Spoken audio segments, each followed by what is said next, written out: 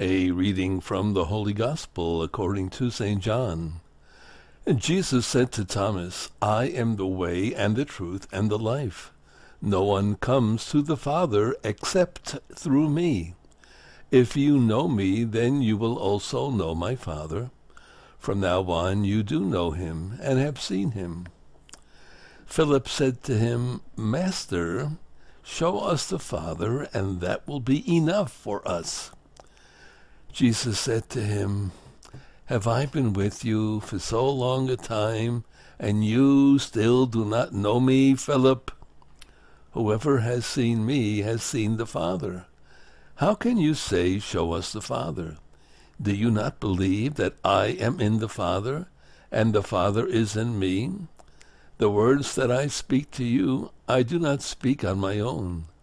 The Father who dwells in me is doing his works.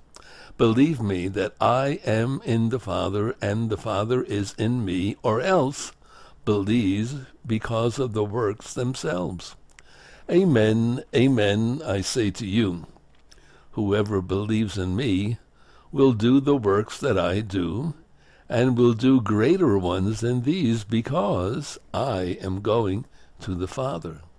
And whatever you ask in my name I will do, so that the Father may be glorified in the Son. If you ask anything of me in my name, I will do it. The Gospel of the Lord. Praise to you, O Lord Jesus Christ.